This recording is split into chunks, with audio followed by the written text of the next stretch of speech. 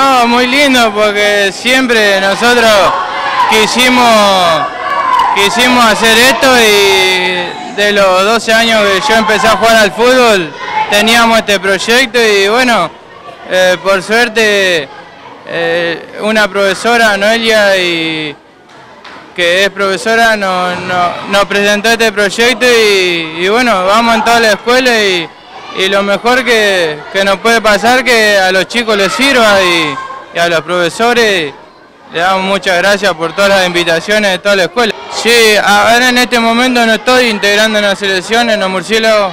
Hasta los 21 estuve en la selección en los murciélagos de los 14 años hasta los 21.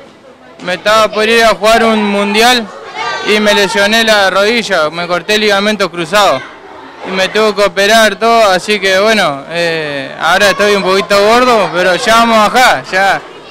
Y, bueno. ¿También participación en otras disciplinas tuviste?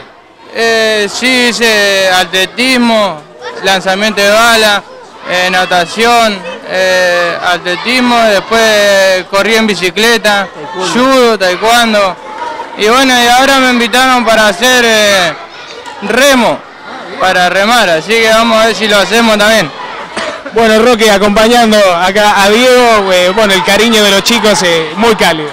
Sí, sí, es muy lindo, es muy lindo lo, que se llevan los chicos, lo que se llevan los docentes.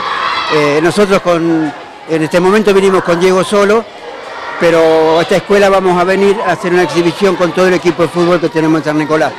Eh, y es, mientras que lo que nosotros hagamos sirva, sirva como material para los docentes y como ejemplo para los chicos, es muy bueno, es muy bueno, los ayuda a, la no discriminación sobre todo, y eso hace mucho tiempo que lo estábamos planeando y ahora se nos está dando por suerte.